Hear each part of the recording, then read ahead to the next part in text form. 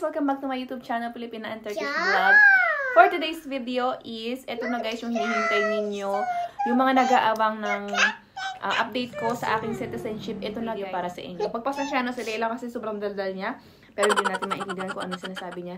And dalawang toothbrush ang hawak niya. Kasi ito, bago to mga toothbrush na to para sa aming mag-asawa. And kinuha niya. So, ayaw niya ibigay sa akin. So, anyways, guys. Step by step, kukwento ko sa inyo kung ano yung kaganapan today sa akin. Anong experience ko today. And kung napanood niyo yung aking last video about citizenship, yung time na yun is hindi pa ako sure or hindi pa ako sure kung approve ba talaga ako pero this time guys is sure na sure na ako dahil meron na akong number ng aking um, Turkish citizen card. Yan. So, yun yung malinaw na. Turkish citizen card. Kasi yung iba nagko-confuse. Ano yung hawak mo? Ano? Parang kasing Kimli, Kimli. Parang parehas lang kasi yung ano. So, para hindi kayo ma-confuse, ang hawak ko dati na aking ID dito is ILI card or family resident permit. Resident permit lang po yung hawak ko before. Ngayon, ang ngayon is citizen na tayo. So, hindi na nawala na yung aking uh, ah, ID ng resident. Meron na tayo ngayong mismo yung card ng Turkish. Oh, Turkish na tayo. Oh my God. Turkish na hilaw. Kasi hindi pa tayo nakakapagsalita ng mahusay o talagang nakakapagsalita ng kanilang lingwahe. But, ang importante is, naintindihan mo sila pag uh, kinausap ka na nila. Pero hindi ko naman sila masyadong naiintindihan, but it's okay na yun. Hindi na misunderstood yung aking video last time na meron na ako, yung dumating na card sa akin nung last video ko is yung aking Turkish citizen na. Hindi pa po yun. Ano pa lang yun? ILE resident permit pa lang yung dumating. Kasi nga, nag-apply ako dahil ma-expired na siya. Dahil expired na siya and then yung aking citizenship ay hindi pa approved. So, kailangan nating mag-apply ng panibagong ID. And, uh, nagkasabay silang dalawa na na-approve ako dun sa aking citizenship tapos biglang biglang dumating naman yung aking uh, resident permit dito sa Turkey. So, yun yung ganap talaga. Yun yung nangyari. But anyways, ano yung kaganapan today? Hmm, disturbo ng ano ko, commercial. Ayan. So, ano yung kaganapan today is, so, na-approve ako nung before nag-Ramadan dito sa Turkey. So, 10 days holiday yon walang pasok. So, pero pwede naman kami kasing maghabol or pumunta mismo dun sa uh, registry of office sa main office sa Pate. Pero hindi kami pumunta. Sabi ko kasi asawa ko, sa, sa ano na lang, after nitong holiday na lang tayo pumunta. Not this time. Kasi nga, feeling ko, mga tamad na silang magtrabaho dahil holiday na kinabukasan. So, sabi ko, wag na lang muna ngayon. So, kaya ngayon pa lang kami nakarat, nakapunta and hindi kasi available ang asawa ko, kaya si Bia ng lalaki yung sumama sa akin doon. Na uh, nag-drive sa akin. Kasi medyo malayo yun, guys. Lalo na kapag may traffic na. Abutin kayo ng siyam-siyam. Ayan, so pumunta lang kami doon sa mismong uh, registry office, sa main office. And then, tinanong ko kung bakit wala ako nare-receive na na ID or wala akong ma-receive na SMS kasi may isa-send talaga silang code ng SMS na okay, approve na yung ano mo, blah, blah, blah, ganyan yung mga nakasulat. Pero sa situation ko, wala akong nare-receive. Kaya pagpasensyahan nyo na yung ano ko ng ingay. So, kaya ang ginawa ko talaga, kaya tinanong namin doon. So, ang sabi is, mali daw yung number ko na nakalagay doon sa kanilang uh, system.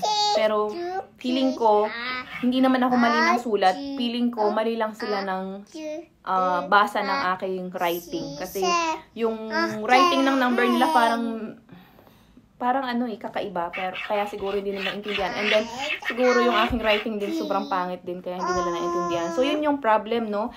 And since nung nag-apply talaga rin ako noon, and since nung nagpasa pala ako ng application ko, wala talaga ako nare-receive na any message from them.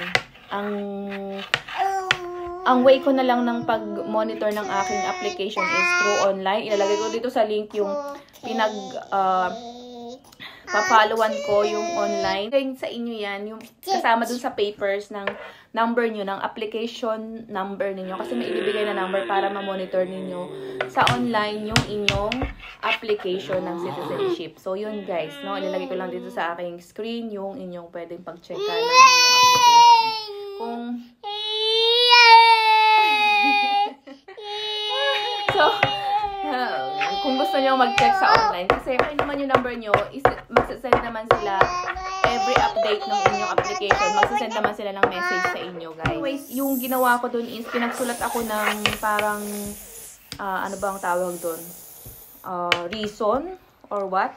Pinagsulat ako doon kung ano yung reason kung bakit hindi ako nakaka-receive ng message from them. So, ang nilagay ko doon is mali yung number na nailagay sa uh, online or sa application.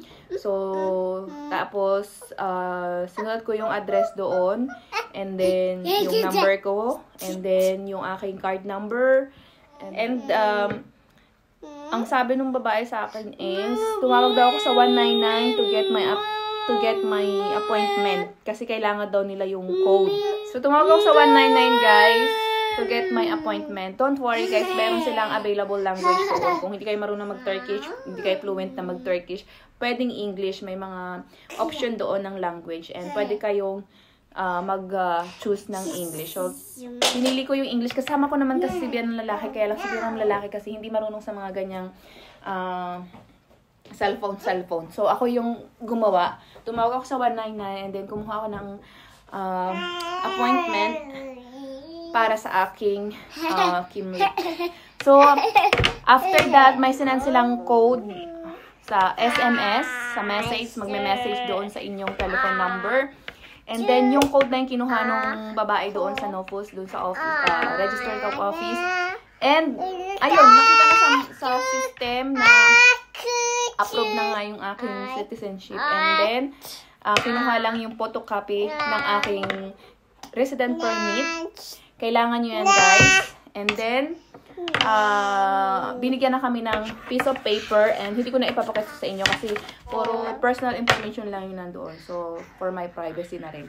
And then, uh, after that, ang uh, sabi sa amin ng girl doon is, uh, hindi nyo na kailangan bumalik dito sa main office ng uh, registry office, pwede lang doon mismo sa inyo, sa may, kung saan kami nakatira, kung saan yung aming mismong location. So, in the same time, guys, uh, after namin doon, dumiretso na kami agad-agad dito sa aming uh, Nofus, dito sa malapit sa aming And, nagpa-appointment kasi Mr. kasi kailangan din ng online appointment. Hindi kayo accept doon kapag wala kayong appointment.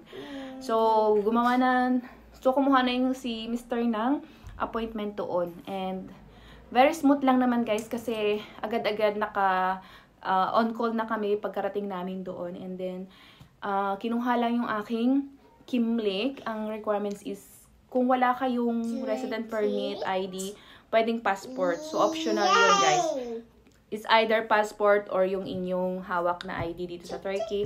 And then, one biometric picture lang. So, hindi ako nakapili ng biometric kung maganda-gandang picture. Ang pangit ko doon, guys. Kaya naman, pangit ng aking ID. Hindi ko na yan.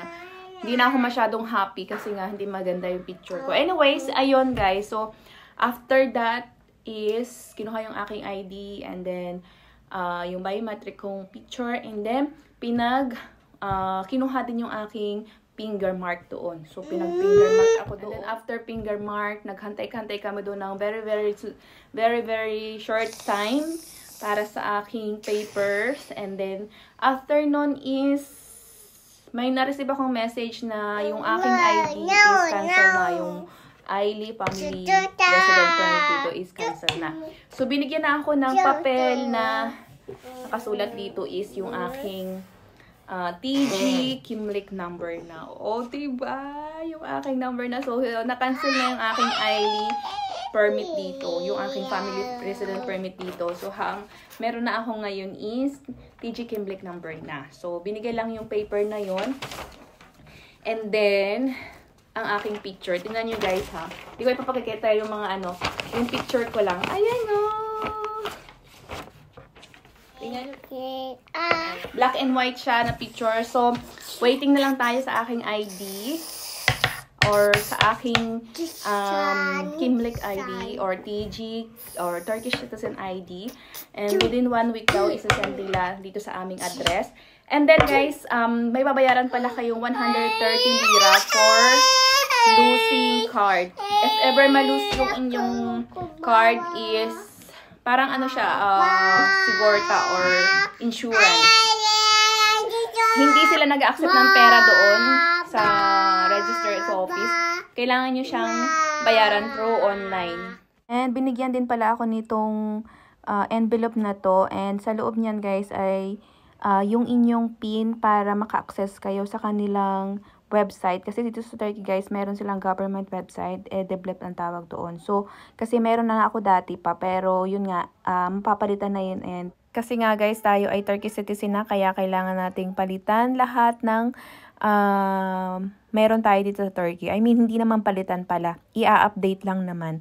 And ayan yung uh, sa loob niyang envelope na yan, nakalagay yung PIN number na para maka-access kayo sa kanilang website. And do not share your PIN dahil very important information ang mga nandyan. And also, kailangan din nating palitan ng inyong uh, banks accounts. Kailangan i-update ang inyong uh, information doon dahil magkakaroon kayo ng problem if ever na hindi nyo mapalitan. Yun lang naman ang very important guys. So yun guys, that's the end of our video. Sorry, sorry talaga sa maingay ang aking background na si Layla. Ayan. So, that's the end of our video and see you in my next vlog. Thank you so much. Bye-bye. Kiss. Mm. Bye-bye. Bye. Bye.